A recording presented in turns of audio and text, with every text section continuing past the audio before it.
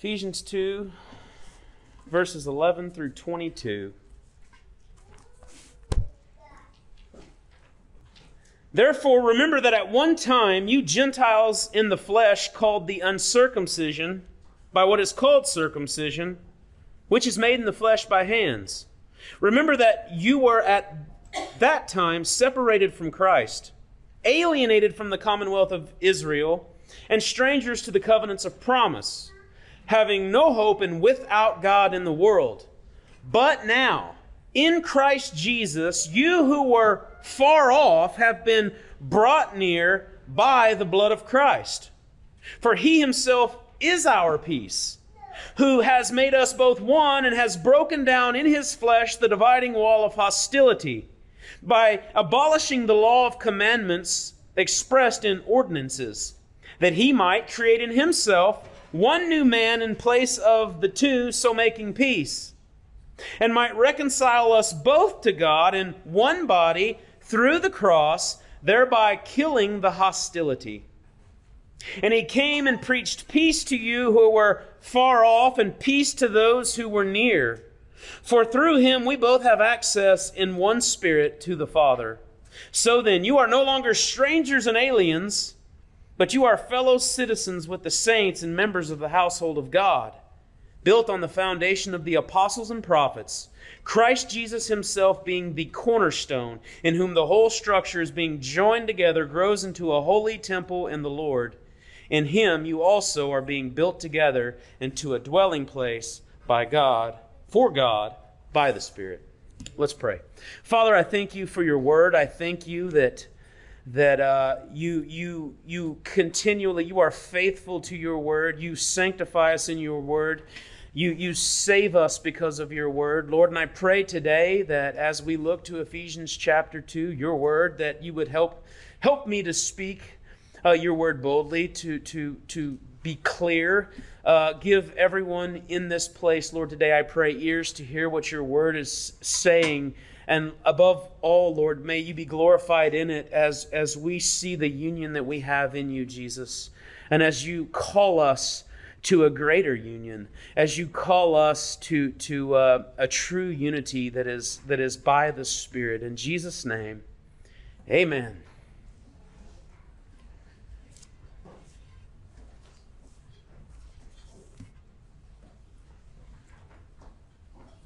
This is about the church. This is about God's house, his household. Right? Uh, that we make up. Right? We, we are, it says, members of the household of God if we are in Christ. So, so we're, that's where Paul's going, showing us the church, the household of God, right? The, a family, a unit. But there's a division that's being dealt with here. That Christ broke, there is no division. Christ broke it down in his flesh, right? But there, there's still there's still uh, not harmony between Jew and Gentile in many cases, and he's addressing this situation, and that's what we see today. I don't know if you have kids. I got two little knuckleheads over there, and and uh, uh, it's it's something else when they're fighting and not getting along and not acting like brothers. See David turning and looking at his boys. Check right? There's, times where they're, they're not acting as they ought, like their brothers, like they're of the same household, right? And it's, as a father, that's, that's, not, that's not good, right? It, it it's grieving to see your boys um, act in such a way. And, and, you know, disunity among God's people has always been, I guess, in a sense, a heartache for God right disunity because of what christ has done the cost that that purchased the unity that we have with one another. As I mentioned in verses 1 through 10, we saw our unity with Christ. And in 11 through 22, we see our unity in Christ, right? We are united to Christ and to one another because we are at one in Him, right? Uh, and in the same way, I don't want to see my children fighting with one another, right? Jesus prays for our unity in John 17. in uh, four times he mentions our unity. In verse 11, he says, he, Jesus is praying to the Father before he goes to the cross. Right? If you want to hear Jesus pray, you, you should read John 17 often. It's amazing. Uh, the high priestly prayer of Jesus. What a blessing that we have it in written form. Jesus praying for literally us. He says, And I am no longer in the world, in verse 11 of John 17. I am no longer in the world, but they are in the world. That's Christ's people, right? And I am coming to you. Holy Father, keep them in your name, which you have given me, that they may be one, even as we are one. Down in verse 21, he says, That they may all be one, just as you, Father, are in me, and I in you, that they also may be in us, so that the world may believe that you have sent me. The glory that you have given me, I have given to them, that they may be one, even as we are one. In them, I in them, and you in me, that they may become perfectly one. Perfectly one. So that the world may know that you sent me, and I loved them even as you loved me. Right? Jesus prayed for the unity that we would have. And Paul is addressing, addressing the unity of the church, of the household of God in this text before us today. Positionally, we are one in Christ, right? Uh, 1 Corinthians 6 17 says, But he who is joined to the Lord becomes one spirit with him. Right? 1 Corinthians 12 12 and 13 says, For just as the body is one and has many members, okay, in Ephesians 2 here, we see the church uh, represented as, as a household, as a building that God is building. Here in 1 Corinthians 12, we see the body of Christ expressed as a, as a functional body with many members, right? He says, For just as the body is one and has many members, and all the members are of the body, though many are one body. So it is with Christ. For in one spirit we are we're all baptized into one body, Jews or Greeks, slaves or free, and all were made to drink of one spirit. Now, the problem in this day was that of the Jew and the Gentile, right? You have.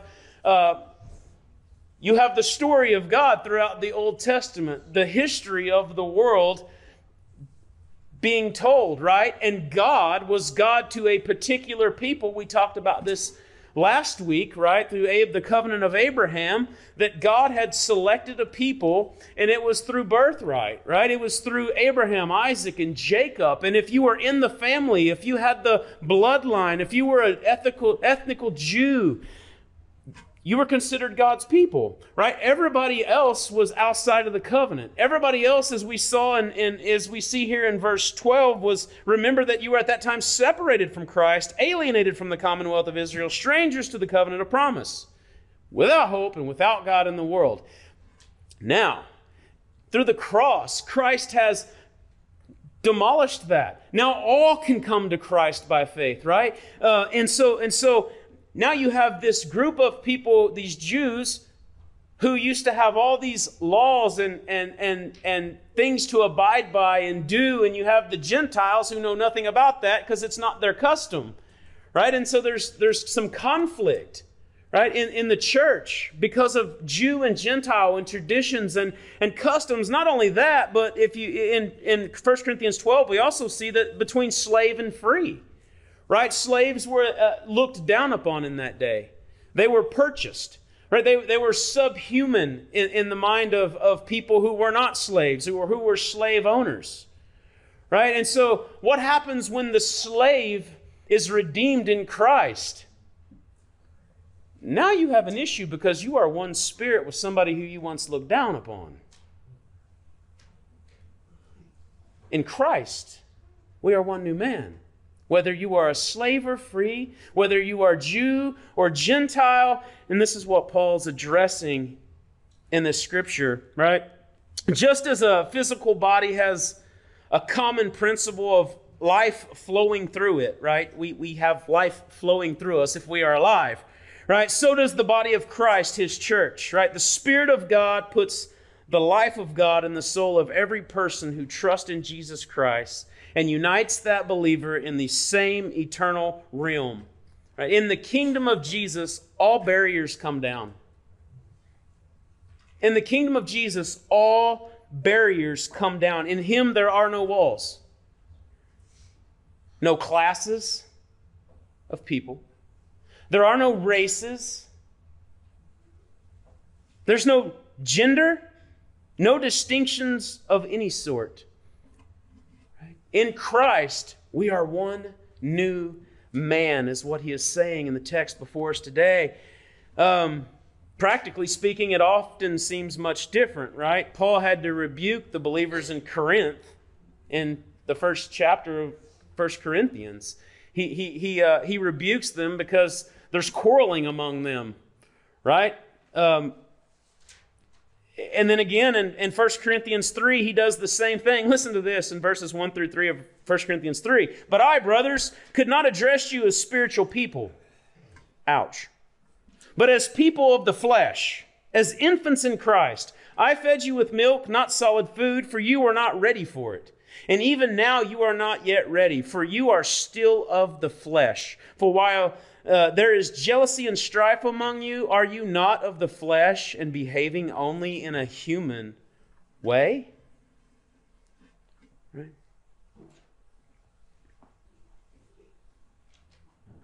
Verse 19 says that we are members of the household of God if we are in Christ. We are members of the household of God, and we're going to look at that in the end of this right? Uh, there's a saying that blood is thicker than water, and I'm pretty sure it's used wrongly 99.99% of the time because water has to do with birth, the birth canal. Blood has to do with covenant.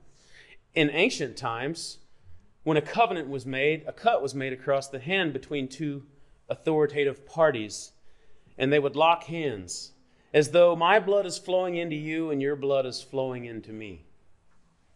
That was the idea. Blood truly is thicker than water, right? And it is by the blood of Christ that the far off have been brought near, right? We are a family through the blood of Christ. Christ has purchased us. If we are united to Christ, we also are united to one another. And that's the main point of this text, is that we are united to one another if we be in Christ. This is about church unity, right? So just, just a reminder, uh, of where we've come, right? Um, in chapter 1, we see the rich spiritual blessings of being in Christ. In chapter 2, we see that, that we didn't start out that way. And you were dead in your trespasses and sins in which you once walked, right? We were following the course of this world. Uh, we were of a different spirit. We were of the spirit of the prince of the of the, the air, right? Of Satan. We were under his influence. But verse 4 says, But God, being rich in mercy, the gospel comes to us Right? It is the gospel that penetrates the heart. It is the gospel that has the power to save us when we see our sin, that we are dead, and that we need to be made alive. We need something outside of ourselves to rescue us because we can't stand before God. We're not righteous, but Christ is and grants righteousness to those who believe by faith. Right? Salvation, we learned in verse 8 and 9, is by grace through faith right? God gives the grace, God gives the faith, and we exercise that faith, right? It's by grace through faith, and this is not of your own doing, it's a gift of God so that no man may boast. It's the work of Christ, it's the work of God who grants us eternal life for his workmanship we learn and and and so now we're looking at the the church right that's how god that's how god worked in the individual and now we look we're looking at the, the church, the body of Christ, the household of God that we see in verses 19 through 22. And, and there's an issue, right? And it's division. It's, uh, it's, it's division. Right? And so the direction I would have us to go this morning as we look at this, um, because there is no division in Christ, is that, right? In Christ, there is no division. In Christ, there is no division, and we see that in verses 11 through 14. In 15 through uh, 18, we see that in Christ, there is peace. And in verse 19 through 22, in Christ, we are being built together. Right? So there is no division, there is peace, and we are being joined and built together into a dwelling place for God. Let's look at verse 11 through 14. He says, Therefore, remember that at one time you Gentiles in the flesh called the uncircumcision by what is called the circumcision, which is made in the flesh by hands. So we talked about this a couple weeks ago. There's a distinction. Again, at one time, we were alienated, cut off, right? Uh, the ethnic, I can't get that word right, the Jews, right, were the people of God and no other. But God has done a new thing. He has grafted the Gentile in by faith. Right? God has done a new thing. There was a distinction. It says in verse 12, remember that you at that time, which at that time was before the work of Christ that has uh, ransomed us and made available to the Gentile grace by faith. Remember that at that time you were separated from Christ. Separated from Christ separated from Christ, alienated from the commonwealth of Israel. You didn't have the blessing of God, right? And strangers to the covenants of promise. That's why there was no hope for you. There was no promise for you. It's amazing to me, like, one of the biggest ideologies concerning the afterlife is people believe that we're born, we bounce around, and everything's meaningless and purposeless, and we die, and it goes dark, and that's the end of it. And I can see where they get that when you were once alienated, separated, without promise, and having no hope, and without God in the world. I could see where you come to that ideology. Right? But now, I love this again. You know, we, we heard the bad news in verse 1 through 3 of chapter 2 that you were dead in your sins. And in verse 4, we heard the good news, but God being rich in mercy. And it's kind of laid out the same here as he's addressing this division. You were once alienated, you were once separated. You know, you were without God in the world, you were without hope, but now in Christ Jesus, right? You who were far off have been brought near by the blood of Christ. You had no access to God before the work of Christ. You could not come near where God dwelt in his temple. You weren't allowed. You would desecrate it because you were unholy, because you were not his people. Right? But now, in Christ Jesus, the far off, those who couldn't come past the dividing line in the temple have now been brought near to where God is by the blood of Christ. By the blood of Christ. That, that is to say that there is nothing you can do to please God. There is nothing that you can do to, to, to, to be righteous before God. You can try and try and try. You're a sinner. You're not perfect. And that is what's required. Christ was perfect. Christ was a sufficient sacrifice. His blood was enough to bring those who were far off near, and we have been grafted in. We have been grafted in. For he himself is our peace, it says, right? Peace, uh, this is referring to peace between individuals. This is harmony. Perhaps, I don't know if you've ever heard some uh, a group of people singing and there's a person out of key. It's quite obvious. It doesn't sound real good, right? Um, I think I did that once. right? It's it's it's I hit wrong notes all the time on the guitar. It could be the same. I'm not in harmony, right? We're not there's not perfect harmony. There's not peace.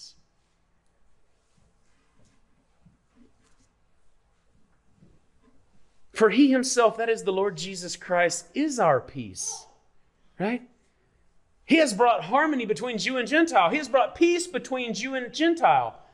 They are one new man, right? Um, they both must look to Christ. They both must look to Christ, right? So both is referring here. He has made us both one, both Jew and Gentile, right? Again, the dividing wall was 613 laws the Jews were trying to follow and the Gentiles were not, right? The, the, uh, uh, and, and we will look at how specifically this dividing wall was broken down in just a moment, but do notice it is in his flesh. He has broken it down in his flesh. Christ has fulfilled all these laws. By his blood, the far off were brought near, and in his flesh, the dividing wall that separated God's people from everybody else was broken down. And now all have access. Through Christ, all who come to faith are grafted in. That's good news. We once didn't have access to that, but because of Christ, we now have access to the throne of grace. Jesus says in, in, in, in John 14, 6 that I am the way, the truth, and the life, and no one comes to the Father except through me. That is true of the Gentile, that is also true of the Jew. It's, it's no longer by birthright. It's, it's not, not that it ever was, it was always by faith, right? It was always by faith. But now they must come through Jesus. You know, there, there's no more keeping of the law to be right with God because Christ filled it up. Now you must believe in Christ, Jew. Gentile, the only way to come to God is through Christ because he filled it up, right? We are one new man in Christ. We have access to God through Christ. All must come through Christ. In Christ, there is no division. There is no division, right? You stand before God even now in one of two ways in your righteousness, which is damned. We talked about that this morning or clothed in Christ's righteousness because of the gracious gift that he gives. Right? That's that's the good news is that we all deserve hell. Right? We were all Ephesians 1 or chapter 2 1 through 3 at one time. We were all uh, Ephesians 2 verse 12 at one time. But God being rich in mercy has delivered the gospel to us through the word of, of, of men, and the Spirit made us alive, right? By the blood of Christ, we, we recognize that we are sinful and that we can't come to God, that we can't be right with God, that we can't meet the demands that God sets forth. It's not possible. And so we look to Christ who has, seeing that we are sinful. We come to Christ pleading for forgiveness, right? And He grants us faith, He grants us His righteousness. That's the good news of the gospel. Ephesians 4 1 through 6 says, I therefore, a prisoner for the Lord, urge you to walk in a manner of the calling to which you have been called, with all humility and gentleness, with patience, bearing with one another in love, eager to maintain the unity of the Spirit in the bond of peace. We should be eager to maintain the unity of the Spirit and the bond of peace that we have in Christ. Right? Us, Jew and Gentile, and us, right? We should be eager for the unity of the Spirit and bond of peace. There is one body and one Spirit. Just as you were called to the one hope that belongs to your call one Lord, one faith, one baptism, one God and Father of all, who is over all and through all and in all.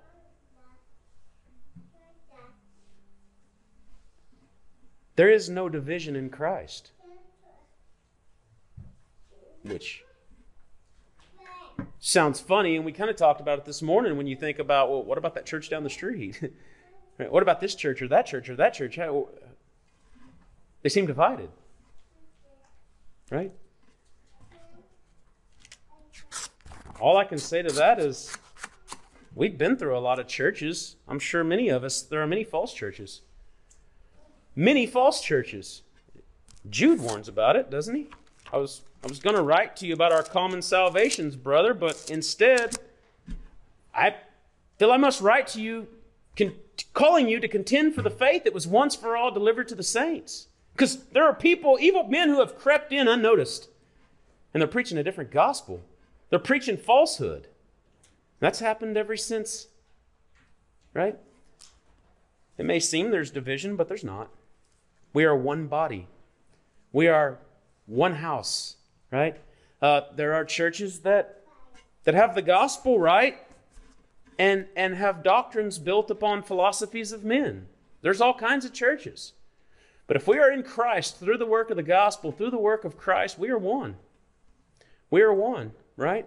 Uh, we desire here to preach and to teach directly from the scriptures, to compare scripture with scripture, not bring outside ideas into scripture to proclaim to you.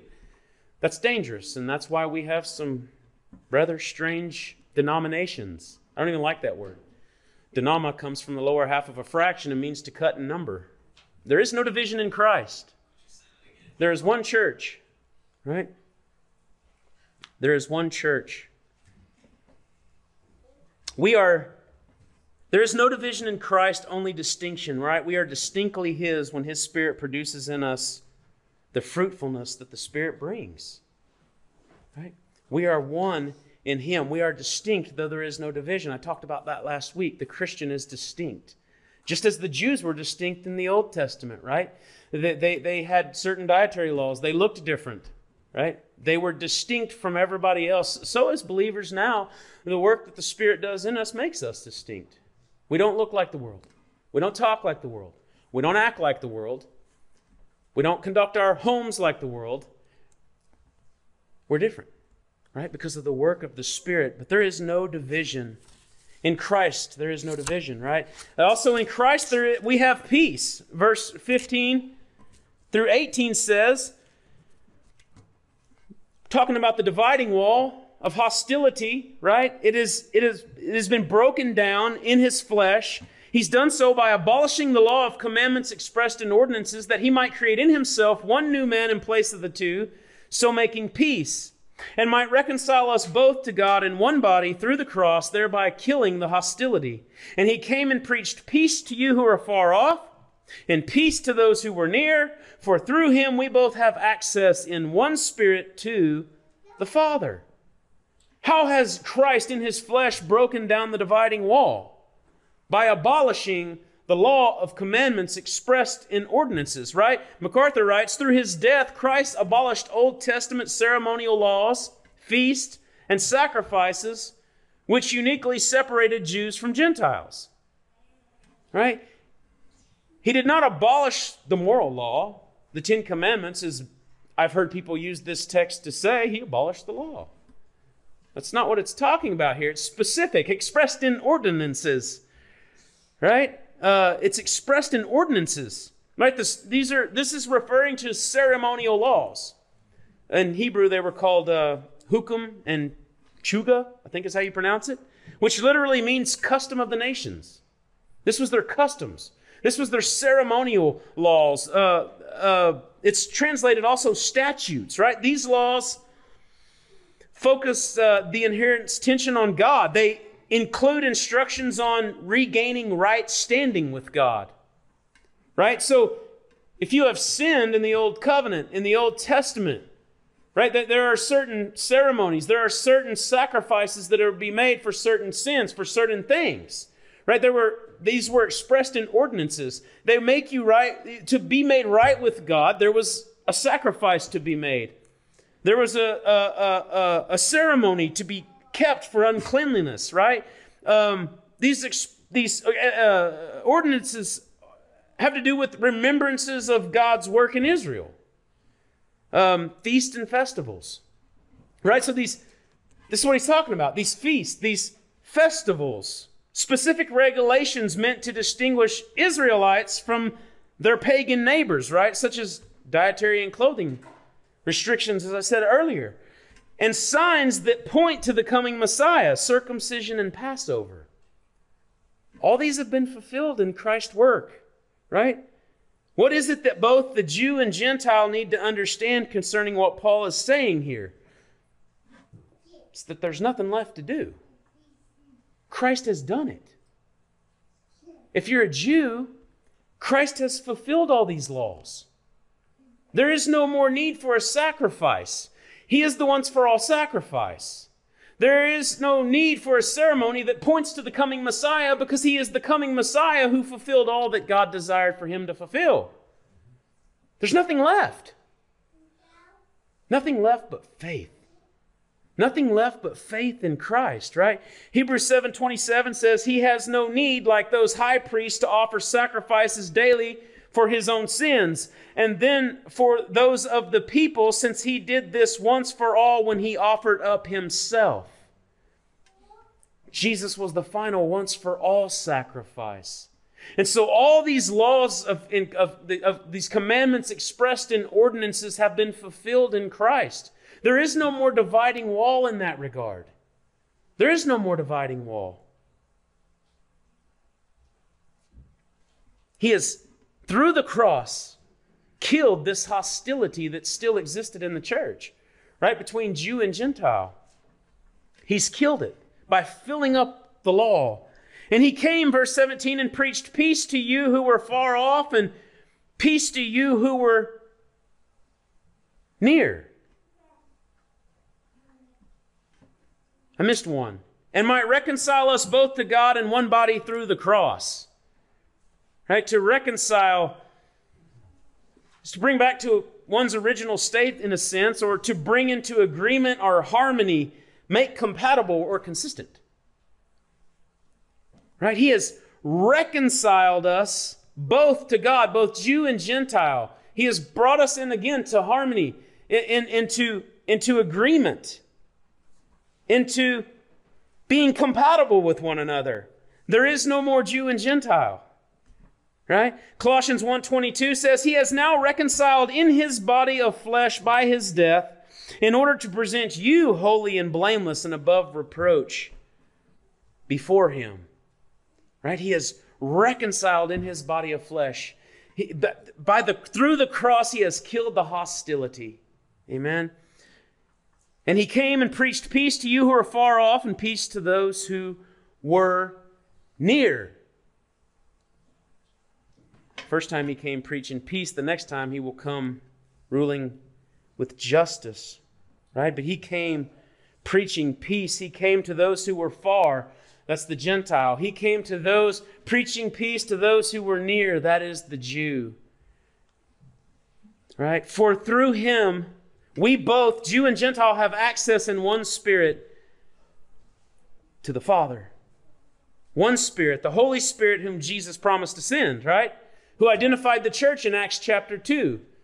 If you remember, the Holy Spirit, when it descended, when it came, when the Spirit whom Jesus had promised when it came on the day of Pentecost, identified the believers with visual, visual red tongues that appeared to be on fire, right? It identified the church of the Lord Jesus Christ. The Spirit identifies the church, Uh, whom the Spirit applies the salvation that God gives in John chapter 3.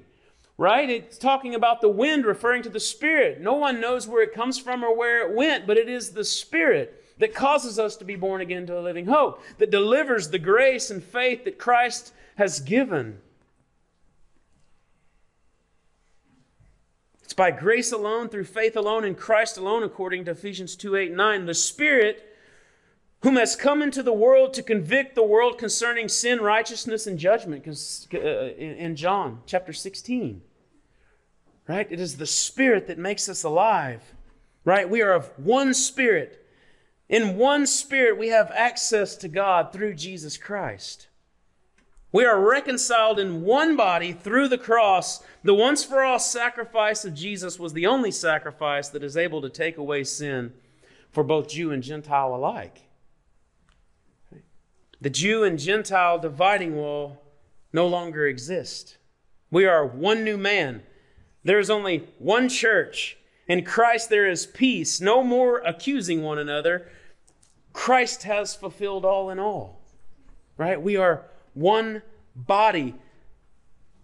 1 Corinthians 1.10 says, I appeal to you, brothers, uh, I appeal to you, brothers, by the name of the Lord Jesus Christ, that all of you agree, and that there are no divisions among you, but that you be united in the same mind and the same judgment. Right? Because of the peace Christ purchased with his blood, there should be no division among us. Right? Paul's appealing to him to, to the church in Corinth here to allow there to be no division among you. Right? We are to have peace with one another in Christ. Now, I know, you know, it's we have some personality conflicts amongst us, right? We have some some people might get on your nerves. You might be more friendly with others than some. You may be closer to some than others. But there must be peace between us. We have peace because of Christ, right? And we learn to get over those things, right? Because Christ is what unites us. If, if, if, if Christ is our peace, But if we are united in Christ, we are united in one another because you are united in Christ. I am united in Christ. Therefore, we are united in one another. And, and, and they are fighting in Corinth, right? In disagreement. And he's saying, let there be no division among you, brothers. Squash it. Right? Sometimes we need to do that. I, I, there's great fellowship here, praise God. Right? But that's that's uh there are differences. We have differences.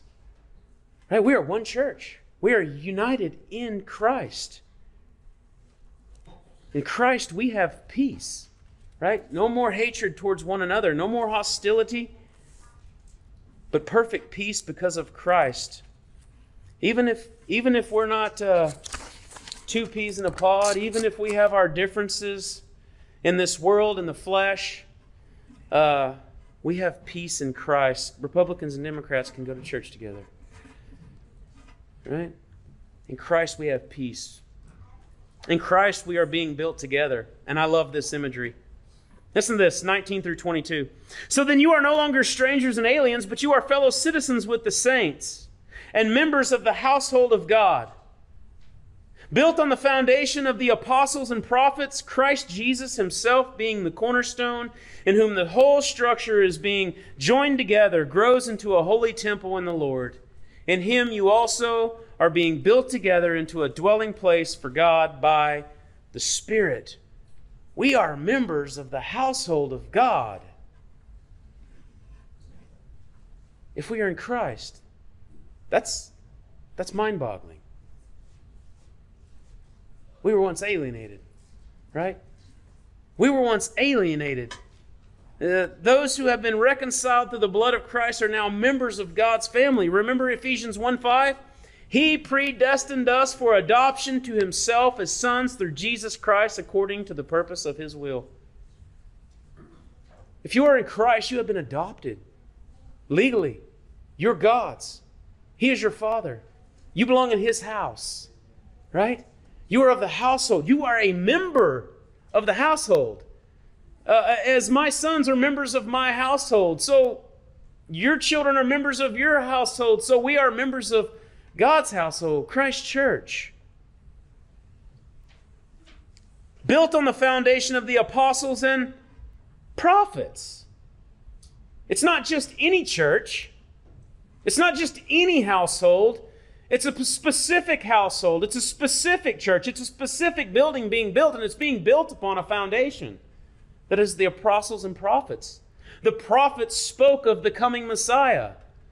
The prophets were looking forward to Christ who would make right what Adam made wrong, who would redeem us from our sin. There's a specific foundation, and it's that of the uh, prophets and of the apostles. Listen to 1 Corinthians 3 10 and 11. According to the grace of God given to me, Paul says, like a skilled master builder, I laid a foundation.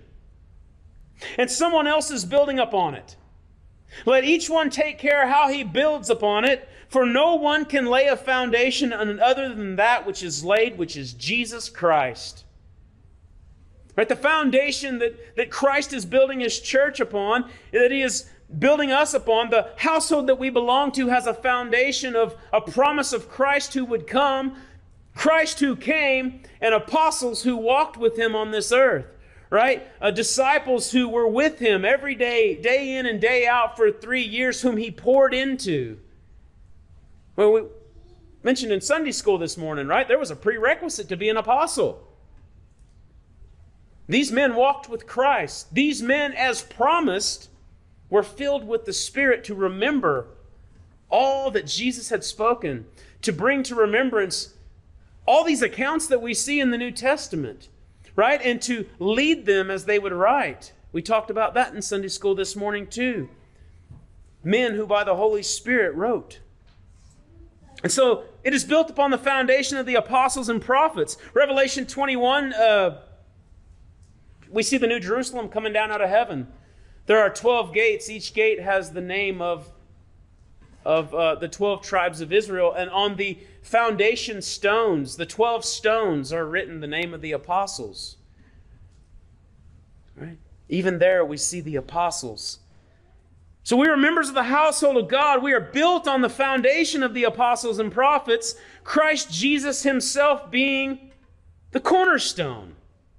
I like this. I, I, uh, I have a grandpa, had a grandpa, and two uncles that were bricklayers. And in the, in the summertime, I got shipped off a couple times to go do some manual labor and uh, to learn some things. And uh, uh I did get to learn about bricklaying. Uh, don't ask me to come brick anything for you. That was a long time ago, and it will look horrible. Um, but it's fascinating what goes into it, right? And, and, and when you are building a building, whether it's from my, actually, I have a brother that lays stone. Um, when you start a building, you need a firm foundation, right? You need a solid foundation that can hold up the building. That's why we have footers and these foundation stones but the most important stone is the first laid stone that every other stone in the whole building will be built off of. Right? A cornerstone was the first laid stone that every other stone would align itself to. Right? You don't start building a wall in the center of the wall, it's going to be crooked, no telling where it's going to wind up, and it's not a good point of reference. You start in the corner. Right? Jesus is the cornerstone that all must be aligned to, right? It's a foundation stone. There's the foundation, and there's the foundational stone, the stone by which everything looks to, points to, and focuses on. 1 Peter 2, starting in verse 4, says, As you come to him, and listen to the parallel. Listen to the agreement between Peter and Paul, right? Two apostles who are saying similar things and see the Spirit at work in these brothers as we hear the word. As you come to him, a living stone, rejected by men, but in the sight of God, chosen and precious. You yourselves, like living stones, are being built up as a spiritual house to be a holy priesthood, to offer spiritual sacrifices acceptable to God through Jesus Christ. For it stands in Scripture Behold, I am laying in Zion a stone, a cornerstone, chosen and precious, and whoever believes in him will not be put to shame. So, the honor is for you who believe, but before those who do not believe, the stone that the builders rejected has become the cornerstone, right? The Jews rejected their Messiah, and now he has become the cornerstone. Right? A stone that the builders rejected has become the cornerstone, and a stone of stumbling and a rock of offense. They stumble because they disobey the word as they were destined to do. But you are a chosen race a royal priesthood, a holy nation, a people for his own possession, that you may proclaim the excellencies of him who called you out of darkness into his marvelous light. Once you were not a people. Right? That was Ephesians 2, verse 12. Once you were not a people, but now you are God's people. Once you had not received mercy, but now you have received mercy.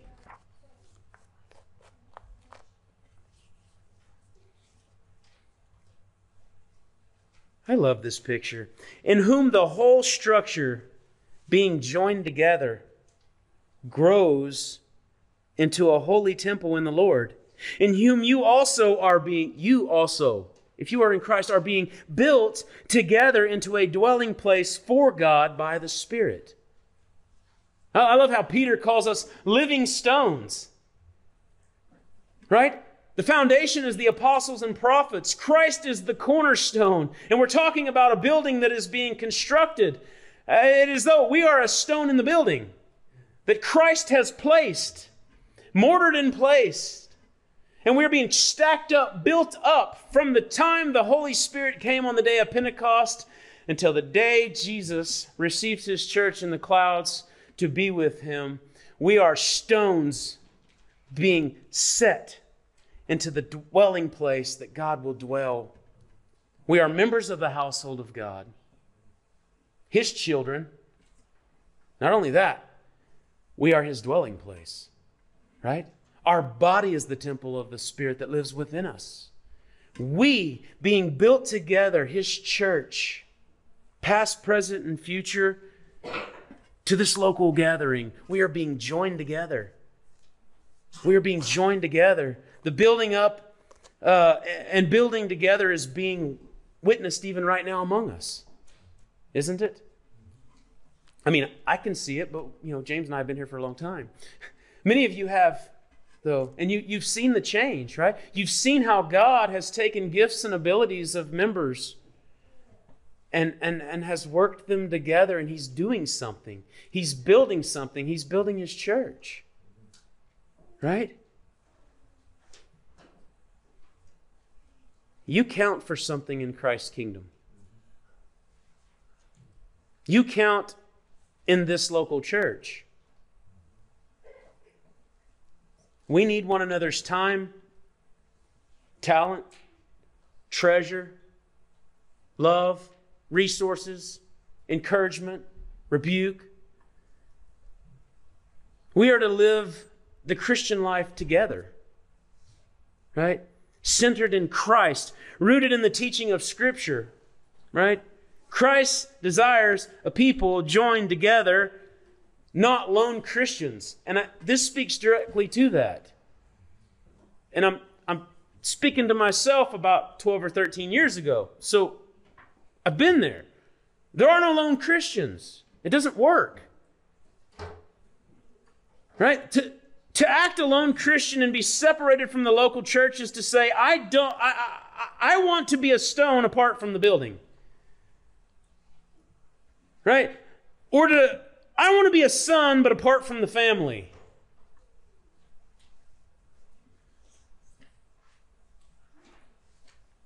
Or to say I a refugee away from my home. That's what you're saying as a lone Christian. One that is not married to a local church, in covenant with a local church and a local group of, of believers, right? If we are apart from the gathering of Christ's people, we are not following the New Testament pattern and we are not helping ourselves, right? It is not good to be apart from the oversight of shepherds or from the accountability and support of brothers and sisters in Christ. We must have that. We need that. That's what Christ has commanded. That's what the apostles have commanded, right? The New Testament assumes every Christian is part of a local church. It knows nothing of Lone Ranger Christianity or the position that claims, I'm a member of the universal church. I don't need to join a local visible church. I'm a member of the universal church, right? We show that we are a part of the universal church by identifying with the distinct people locally. That's how we identify with the universal church. By universal church, I mean those whom Christ has saved at large all over the world, right? We're identified through the local gathering of God's people. We live out our union with Christ visibly. And we should live out our union with other believers visibly. Right? This was an issue in the church. And it can be an issue in churches today. Right? In Christ, there is no division. In Christ, we have peace through the cross, through his person and work. In Christ, we are being joined together, praise God, and we can see that. We experience that. God is doing something in our midst, right? And amongst other churches. Many times when I come in early in the morning and pray for what God, that God would be glorified in our gathering, but not only our gathering, but the gathering of God's people all over this world.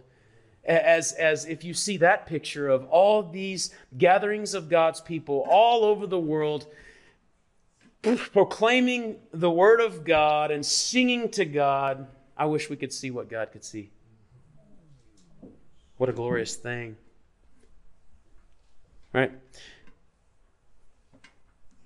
We see that through the blood, the suffering flesh, the cross and the death of our Lord Jesus Christ, that aliens become citizens, strangers become family. Idolaters become the temple of the true God. The hopeless inherit the promises of God. Those without Christ become one with him. Those who are far off are brought near.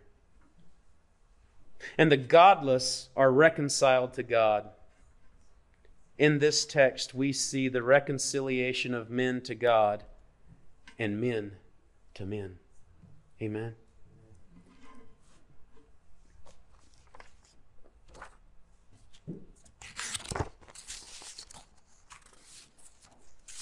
If you don't know this Christ,